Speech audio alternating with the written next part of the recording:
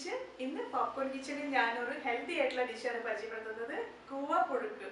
കൂവ കേട്ടിട്ടുണ്ടോ. പലരും കൂവ കേൾക്കാത്തതും കാണാത്തതും ഒരുപാട് ആൾക്കാരുണ്ട്. പിന്നെ ഈ കൂവ വെച്ചിട്ട് കൂവ അറിയുന്ന ആൾക്കാർക്ക് പലർക്കും ഉള്ള ഒരു ഇത്. കൂവ പൊടി ആണ് ഉണ്ടാക്കുന്നത് ഈ കൂവ വെച്ചിട്ട്.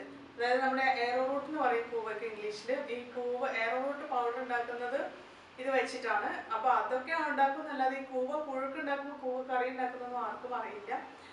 ഞാൻ എനിക്ക് കുറച്ച് തൃശ്ശൂരിലെ ഭാഗത്തൊക്കെ കുറച്ച് ഫ്രണ്ട്സ് ഒക്കെ ഉണ്ട്. അവർക്കൊക്കെ ഞാനിത് കൊടുത്തപ്പം അവർ പറഞ്ഞത് ഈ ഇങ്ങനെ ഒരു കൂവ പുഴുക്കിനെ പറ്റി കേട്ടതേ ഇല്ല. ആകെ ഞങ്ങൾ ഉണ്ടാക്കുന്നത് കൂവ എന്റെ ഈ എയറോട്ട് പൗഡർ മാത്രമാണ്. കൂവ പൊടി മാത്രമാണ് ഉണ്ടാക്കുന്നത് എന്നാണ്. നമ്മുടെ വയറിന്റെ ആരോഗ്യത്തിനൊക്കെ ഒരുപാട് നല്ലതാണ് കൂവ. കൂവ നല്ല സ്റ്റാർച്ച് അടങ്ങിയതാണ് അത് കുട്ടികൾക്കും മുതിർന്നവർക്കും എല്ലാവർക്കും ഒരുപോലെ കഴിക്കാവുന്നതാണ്.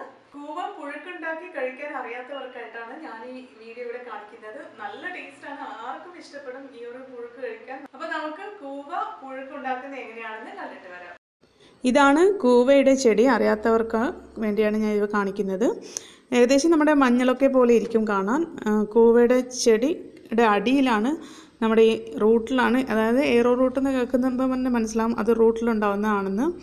അപ്പോൾ അതായത് കൂവയുടെ ചെടിയുടെ താഴെയാണ് ഈ കൂവ ഉണ്ടാകുന്നത് ആദ്യം കൂവയുടെ ചെടി കത്തി വെച്ച് എന്തെങ്കിലും കട്ട് ചെയ്ത് കളഞ്ഞതിന് ശേഷം അതിന്റെ റൂട്ടിലുള്ള കൂവ നമുക്ക് ഇളക്കിയെടുക്കണം. അത് ഇതുപോലെ വല്ല തുമ്പോ എന്തെങ്കിലും എടുത്തിട്ട് കിളച്ചെടുക്കുകയാണ് ചെയ്യുന്നത്. ഇവിടെ ഞാൻ തന്നെയാണ് കിളച്ചെടുക്കുന്നത്. നമുക്കത് കണ്ടു നോക്കാം എങ്ങനെയുണ്ടെന്ന്. അത്യാവശ്യം കുറച്ച് കൂവ എനിക്ക് കിട്ടിയിട്ടുണ്ട്. ഇത് ഇനി ക്ലീൻ ചെയ്യുന്നത് എങ്ങനെയാണെന്ന് നിങ്ങൾക്ക് കാണിച്ചു തരാം. അറിയാത്തവർക്ക് ഇതിന്റെ തൊലിയൊക്കെ എങ്ങനെയാണ് കളയുന്നതെന്ന് കാണിക്കാം.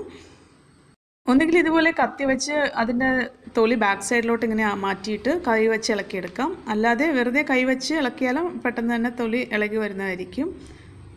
എല്ലാം ക്ലീൻ ചെയ്തതിന് ശേഷം നന്നായിട്ട് വെള്ളത്തിലിട്ട് കഴുകി അതിന്റെ മണ്ണൊക്കെ കളയണം. എന്നിട്ട് ഇതുപോലെ റൗണ്ട് ഷേപ്പിൽ കട്ട് ചെയ്തെടുക്കുകയാണ് ചെയ്യുന്നത്. നല്ല തിന്നായിട്ടല്ല അത്യാവശ്യം കുറച്ച് കട്ടിയിൽ തന്നെയാണ് കട്ട് ചെയ്തെടുക്കുന്നത്. ശേഷം വീണ്ടും വേണമെങ്കിൽ ഒന്ന് ക്ലീൻ ചെയ്തതിന് ശേഷം നമുക്ക് ഒരു കുക്കറിലേക്ക് ഇട്ട് വേവിക്കുകയാണ് വേണ്ടത്.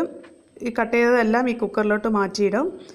എന്നിട്ട് അതിലേക്ക് ആവശ്യത്തിനുള്ള മുളകും മഞ്ഞൾപ്പൊടിയും ആവശ്യത്തിന് ഉപ്പും കൂടെ ചേർത്ത് നന്നായിട്ട് വേവിച്ചെടുക്കാം.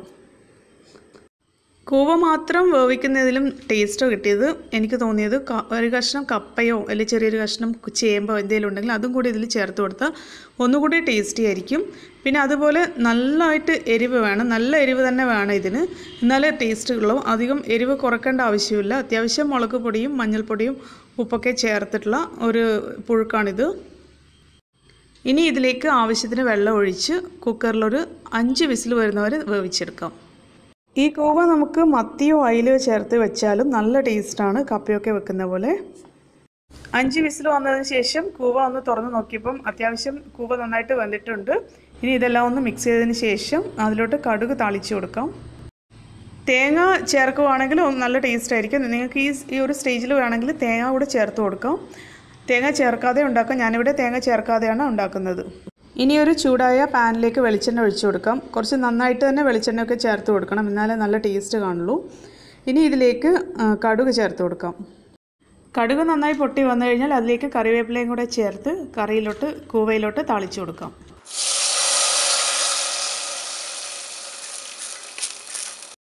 അങ്ങനെ നല്ല ടേസ്റ്റി ആയിട്ടുള്ള കൂവ പുഴുക്ക് ഇവിടെ റെഡി ആയിരിക്കുകയാണ് എല്ലാവരും ഇത് ട്രൈ ചെയ്ത് നോക്കണം. നമുക്കിത് ചോറിന്റെ കൂടെ കഴിക്കാം. അല്ലാതെ വെറുതെ കഴിക്കാം. ചായയുടെ കൂടെ നാല് മണിക്കൊക്കെ അങ്ങനെയായിട്ടും കഴിക്കാം. എന്തിനു വേണമെങ്കിലും കഴിക്കാവുന്നതാണ്. നല്ല ടേസ്റ്റാണ്. അപ്പം എന്തായാലും ഇതുവരെ ട്രൈ ചെയ്യാത്തവരാണെങ്കിൽ എന്തായാലും ഒന്ന് ട്രൈ ചെയ്ത് നോക്കണം.